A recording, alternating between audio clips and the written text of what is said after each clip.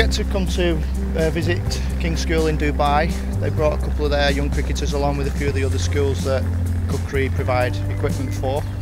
We ran a little bit of a net session with them, split them into a couple of groups, had a chat to a few of the spinners to help them develop their game, spoke to a couple of the young batters. So they had a decent time in the nets and then we came out to the AstroTurf, ran them through a little fielding drill, discussed a couple of little things through how we can improve their fielding.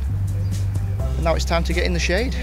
The county cricketers gave us a good experience and they helped me become a better cricketer.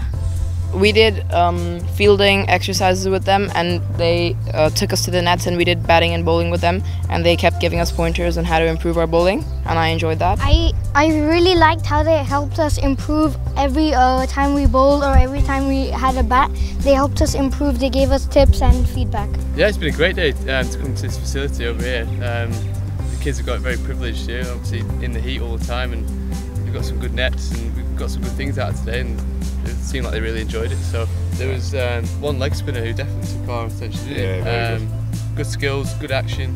Knew what you wanted to do and did it. Yeah. Yeah. Advice, I think you just got to keep enjoying it. Uh, just keep training hard and yeah, just Keep love it. putting the hours in. Yeah.